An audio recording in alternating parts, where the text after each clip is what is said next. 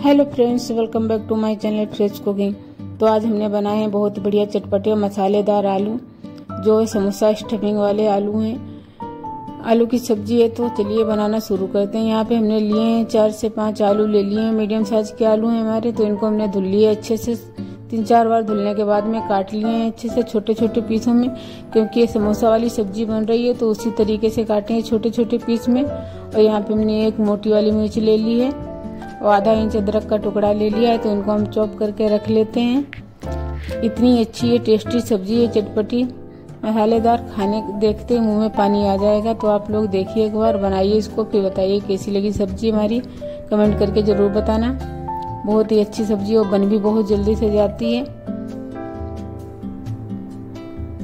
तो ये सब काट के रख लिया गैस पे हमने कढ़ाई रख दी, इसमें डाल दिया तेल, सरसों का तेल लिया हमने यहाँ पे। एक बड़े चम्मच तो उसमें डाल दिया, खड़ा धनिया लिया हमने, जीरा लिया, आधा चम्मच, अजवाइन ली थी आधा चम्मच, साथ में अदरक डाल दी है, इन तीनों चीज़ों को अच्छे से भून लेते हैं। एक डेढ़ मिनट के लिए अदरक हमारी हल्की सी भून चुकी तो साथ में डाल दिए मिर्च हमने।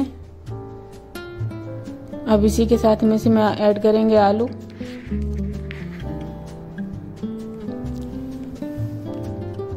आलू भी हमने ऐड कर दिए हैं तो इनको मिला लेते हैं अच्छे से।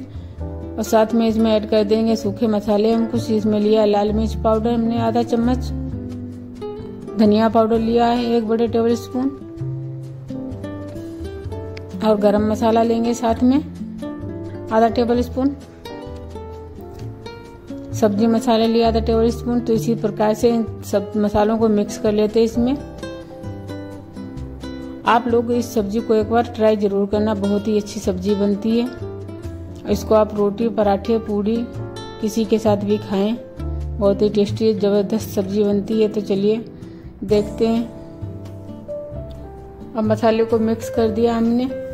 साथ में ऐड कर दिया है नमक। अब इसको हम ऐसे ढक के रख देंगे। दो से तीन मिनट के लिए बीच बीच में चलाते हुए देख लेंगे एक बार, एक दो बार। और बहुत ही जल्दी बनके तैयार भी हो जाएगी। इसमें ना तो आलू उबालने का झंझट है।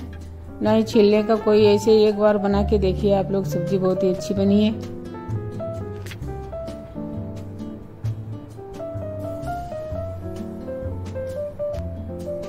ये बीच में एक से दो बार हमने चला दी सब्ज़ी इस तरीके से।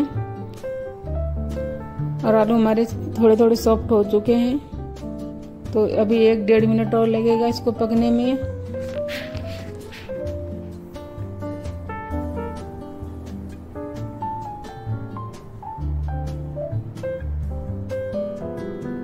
अब इसमें हमने ऐड कर दिया है आमचूर पाउडर, एक बड़े चम्मच। इससे क्या है, चटपटी रहेगी और साथ में खट्टापन भी रहेगा थोड़ा तो सब्ज़ी की टेस्ट ही और बढ़ जाता है, क्योंकि दो गुना टेस्ट हो जाता है। इसका इतना अच्छा टेस्ट आता है, खट्टे होने, खट्टे खट्टे और चटपटे।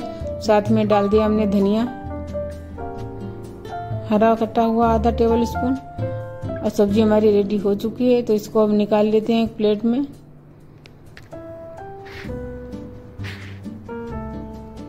अगर वीडियो हमारा अच्छा लगा हो तो लाइक शेयर सब्सक्राइब करें। ज़रूर ज़रूर सभी लोग।